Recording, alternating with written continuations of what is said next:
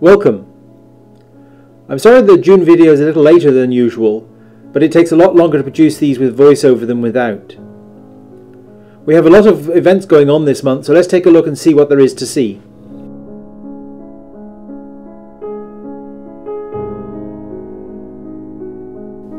On the 21st of June, we're going to have the summer solstice. It will occur at 10.52 UT. That's the longest day of the year for the Northern Hemisphere. The further north you go, the longer the day will be. So all of the Arctic Circle on that day will have a full day of sunlight. In the Southern Hemisphere, it's the opposite. It's going to be the shortest day of the year. June the 1st is the beginning of our meteorological summer. The seasons are created by the tilt of the Earth's spin axis with respect to the plane of the Earth's orbit, the ecliptic.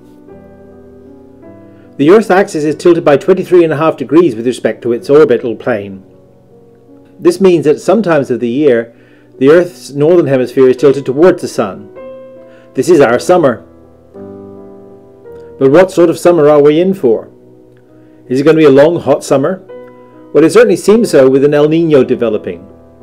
According to NOAA, we are now officially in an El Nino watch period, with a 65% chance of an El Nino developing during the summer season.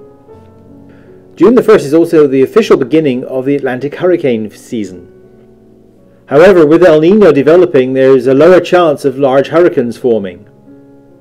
NOAA is forecasting 8 to 13 named storms in 2014, compared with a normal of 12, with 3 to 6 hurricanes, one or two of which could be large hurricanes, category 4 or above.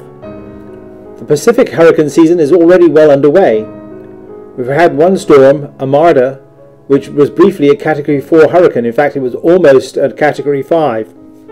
However, it dissipated relatively quickly as it approached the Mexican coast.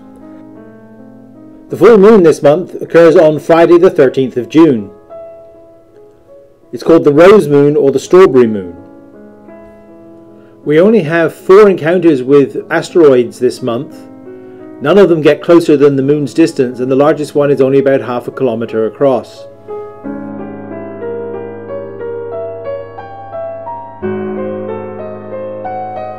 How does NASA find all of these objects?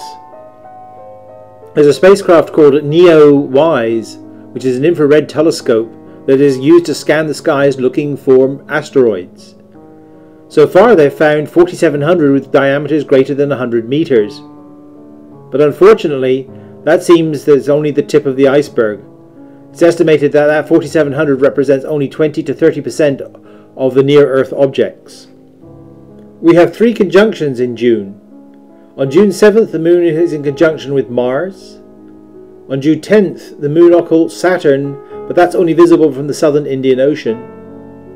And on the 24th of June, the Moon is in conjunction with Venus. This actually may be a very good opportunity to be able to follow a planet during daylight. We have one meteor shower in June, the Boötids. This occurs between the 26th of June and the 2nd of July. They peak generally on the 27th of June. It's favourable because there's no moon. However, this is usually a fairly weak meteor shower, but has been known to reach 100 meteors per hour. Last but not least, the Sun. At the moment the Sun has been fairly quiet with just a very few C flares, but how long will it remain that way?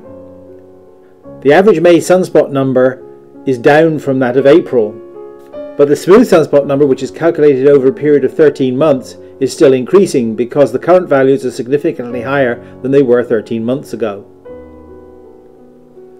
So the big question is when was or will be solar maximum? The date of solar maximum is determined by the peak of the smooth sunspot number. Currently, the highest point on that curve is November of 2013, which is the most recent available date. However, the folks that track solar maximum and solar minimum have two models that predict what the likely dates will be. One of their models is predicting that the maximum will be in February of 2014. However, the second one is predicting that it will likely peak in January of 2015. Whichever is right, and probably neither of them are, it's going to be an interesting time to watch what the Sun is doing. So until then, happy observing.